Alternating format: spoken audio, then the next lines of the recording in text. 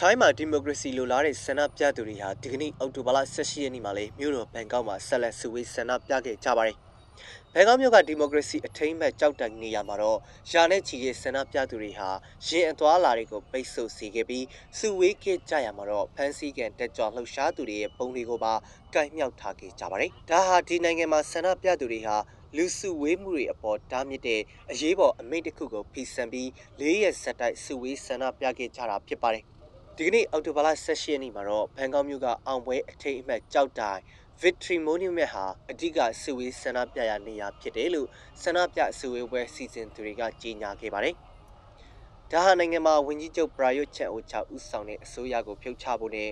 လွတ်မြောက်မှုနဲ့ဒီမိုကရေစီကိုနိုင်ငံမှာဆောင်ကျဉ်နိုင်ဖို့ဆန္ဒပြသူတွေဆက်လက်ကြိုးပမ်းနေတာဖြစ်ပါတယ်။ ထောက်ခံအားပေးတဲ့အရန်စုဝေးပွဲတွေဟာလည်းအစ်ဆုတ်လန်းစုံနဲ့အခြားပြည်နယ်ဒေသတွေကနေရာ16ခုမှာဖြစ်ပေါ်လိမ့်မယ်ဆိုပြီး United Front for Tamaset and Demonstration အဖွဲ့က Facebook မှာကြေညာပါတယ်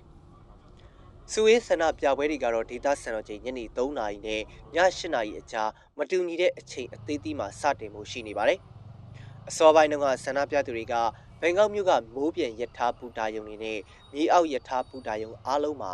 ညနေ3နာရီမှာအရန်သင်းရှိနေကြဖို့အစိုးရစန့်ကျင်ဆန္ဒပြပွဲစီစဉ်သူတွေကတိုက်တွန်းထားခဲ့ကြပါတယ်။လွတ်လပ်သောလူငယ်လှုပ်ရှားမှုအဖွဲ့ကတော့အမှန်တကယ်ဆန္ဒပြပွဲတွေဘယ်နေရာမှာလှုပ်ဆောင်မယ်ဆိုတာကိုအာဏာပိုင်တွေခံမဲရခတ်အောင်ရည်ရွယ်ပြီးဆန္ဒပြပွဲတွေဘယ်နေရာမှာစမယ်ဆိုတာမကြေညာခင်မိုးပြန်ပူတာယုံနဲ့မြေအောက်ပူတာယုံတွေမှာစုဝေးကြဖို့ဆန္ဒပြသူတွေကို Facebook message တစ်ခုကနေတောင်းဆိုခဲ့ကြပါတယ်။ ဒီလိုနီးနာကိုစနေနေ့တုန်းကလည်းအသုံးပြုခဲ့ပြီးအဲ့ဒီနောက်မှာတော့နေရာ၃နေရာမှာစုဝေးမှုတွေလုပ်ခဲ့ပါတယ်စနေနေ့မှာတော့ Rankin Heights တက္ကသိုလ်အပါအဝင်ဘန်ကောက်နဲ့အခြားပြည်နယ်ဒေသတွေကအခြားနေရာတွေမှာလည်းအသေးစားစုဝေးမှုတွေပြုလုပ်ခဲ့ကြပါတယ်မနေ့ကစုဝေးမှုမှာတော့နှစ်နေရာမှာလူ8000စီတနေရာမှာလူ6000နဲ့တက္ကသိုလ်မှာလူ1000လောက်စုဝေးခဲ့ကြတယ်လို့ Metropolitan ရဲဗျူရိုကပြောပါတယ်။ဒါပေမဲ့စုဝေးပွဲစီစဉ်သူတွေကတော့အဲ့ဒီကိန်းဂဏန်းတွေထက်တော်တော်လေးပိုများခဲ့တယ်လို့ပြောပါတယ်။